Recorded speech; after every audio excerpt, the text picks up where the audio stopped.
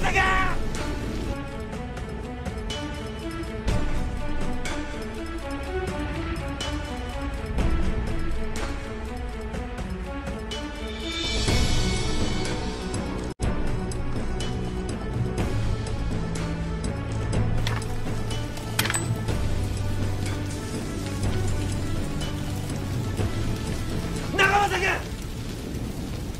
信長殿。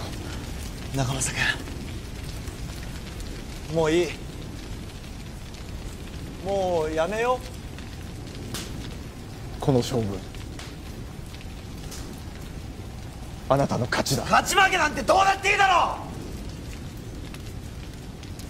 俺は長政君に死んでほしくないんだよ。死んでいった家臣たちが大勢いるんです。私一人生き残ることだと違うよ死んでった人の分まで生きるんだ。生きなきゃダメなんだよ！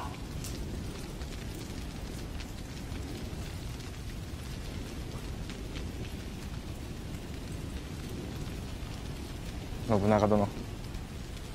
あなたとは短い縁であったが実に楽しかった。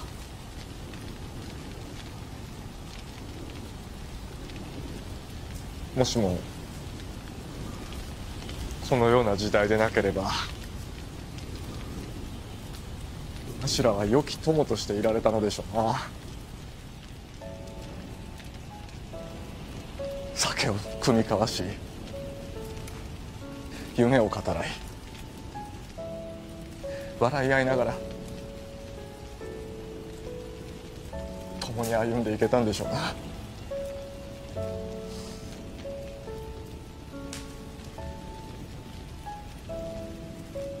どうかそんな未来を作ってくだされ。生まれ落ちた場所や家や立場で人が争うことのない未来を俺には俺にはそんな資格我が娘たちがつないでいく命がいつの日か